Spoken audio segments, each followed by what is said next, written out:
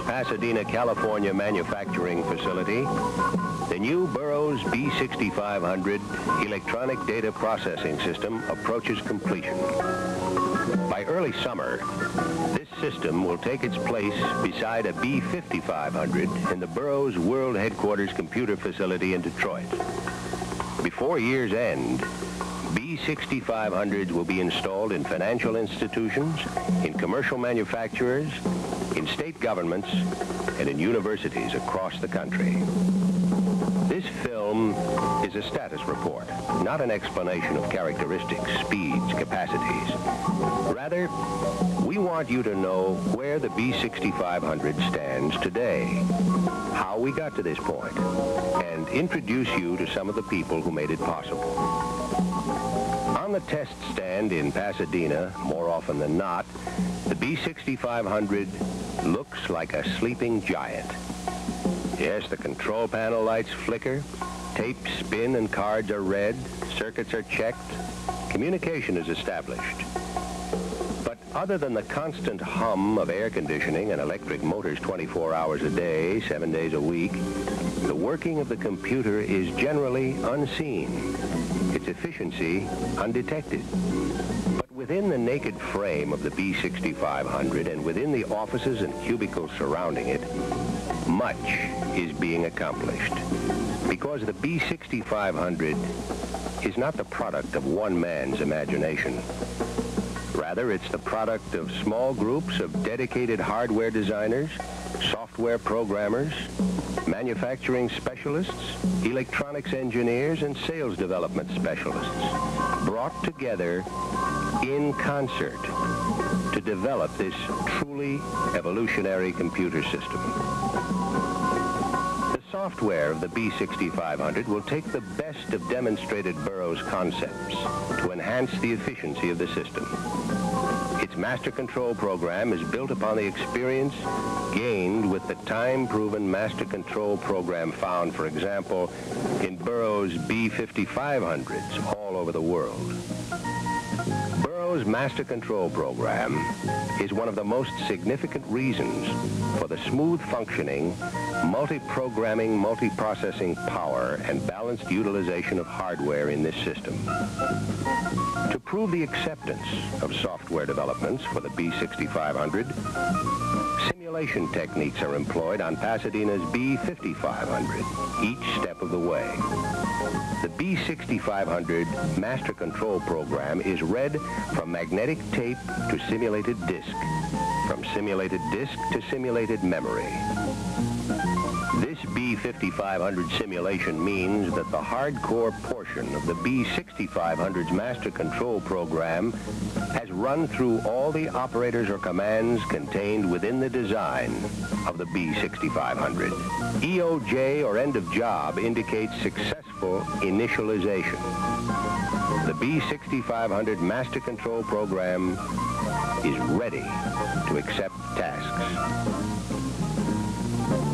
When preliminary acceptance programs have been successfully run on the B6500, the master control program can be loaded with predictable acceptance and initialization. Burroughs software techniques reflect our accent on compiler-oriented hardware. Software, including compilers and the MCP, are written in compiler language, not machine language. They are written in the familiar ALGOL and ESPOL, the Executive System Problem-Oriented Language. All programming is thus self-documenting. Ideas are easily expressed, resulting in compatibility between compilers, utility programs, and the operating system. Four tightly knit groups handle all software writing and implementation. A compiler group, a consolidated programming system group, a data management and communications group, and a support group providing documentation and training. Bob Creech manages the B6500 and B5500 Programming Systems Department. Ben Dent manages the B6500 section. In the key hardware design areas of the B6500 system, the same equation holds true. Close communication through small groups of men. large in experience.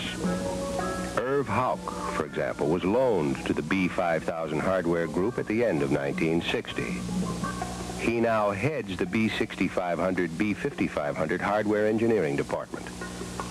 All B6500 section or department managers have a minimum of six years experience, ranging to more than 10 years of Burroughs EDP system development and manufacture. This longevity means to the Burroughs B6500 customer that the collective experience of talented, resourceful men and women goes into each and every circuit, each and every card in every program. Even though here on the number one system, modifications to the core memory stacks may be necessary, and simulation may show that changes are necessary to operating programs, Burroughs design automation specifications require immediate manufacturing documentation and change, immediate programming documentation and change.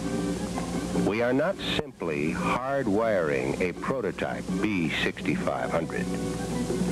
Changes are reflected in the logical equation book and the manufacturing documents. Thus, a design change, once tested and proven, is made permanent. System number one is a production unit. System number one is thus a manufactured B6500 system, just as system number 5 and 14 and 130 will be manufactured. The B6500 is a product of software innovation married to and inseparable from hardware innovation. This is the total systems approach under the direction of Doug Kielty, B6500 program manager, software and hardware are designed and implemented simultaneously, each dependent on the function and form of the other. Through this fusion of knowledge and resourcefulness, tried and proven in the Burroughs 500 Systems family of computers, come the B6500's unique results. Standardized system software, compiler-oriented hardware, dynamic resource allocation, floating I.O. channels, the dual processor concept, self-managing systems. A trip through Burroughs' Pasadena facility fortifies belief in the results of the total systems approach and design automation. Why? because systems 2, 3, 4, 5, 6, and 7 are being made ready right behind System 1. Because the Pasadena facility is already producing B6500 components on a production run basis. All manufacture begins with an engineer expressing a design through flow charting, which ultimately results in a series of logical equations Burroughs' design automation process fully implements the design by splitting it into two paths. First, the manufacture of circuit cards, really begins with specifications being translated into manufacturable artwork. Then from artwork to the card itself. To the etched card are added the integrated circuit chips and discrete circuit resistors, transistors, and diodes.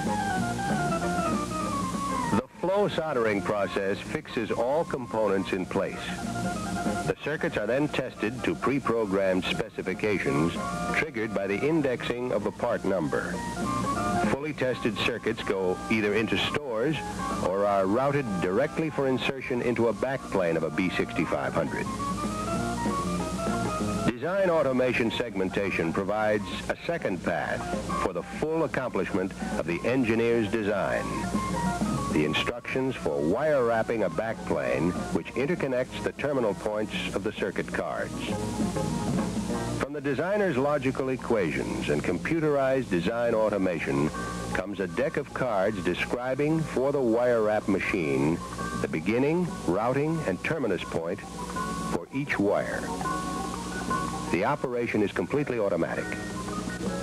This tedious and complex task performed by a very sophisticated machine thus eliminates errors and provides a saving of thousands of man-hours per computer.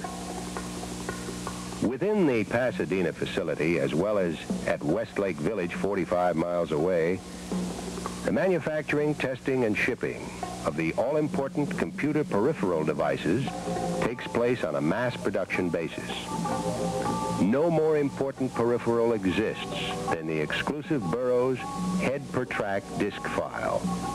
The acceptance of the Burroughs disk file concept can easily be measured through the growth in production facilities at Pasadena, Westlake, and the recently announced Mission Viejo manufacturing facility.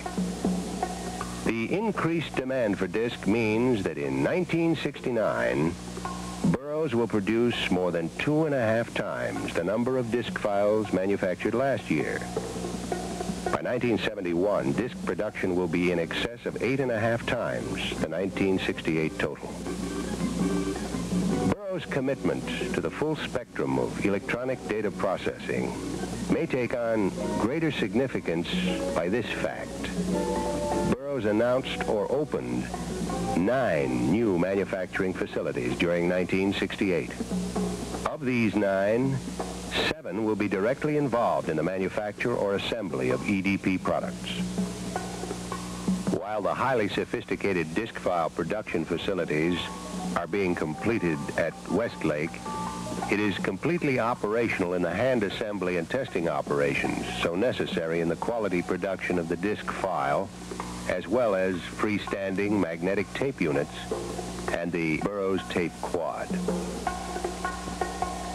As with expanded manufacturing capability, the B6500 story, and indeed the story of Burroughs itself, is an ever-changing status report of growth. Growth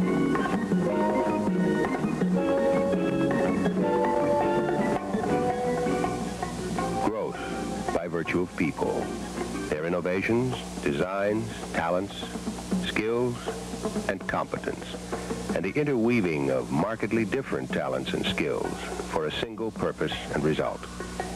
And the Burroughs story, the B6500 story, is a status report of inanimate objects. Circuit cards, solder, wire, lights, keys, cards, letters and numbers, inanimate objects made meaningful by competent people for a single purpose and result. This is the B6500 in Pasadena.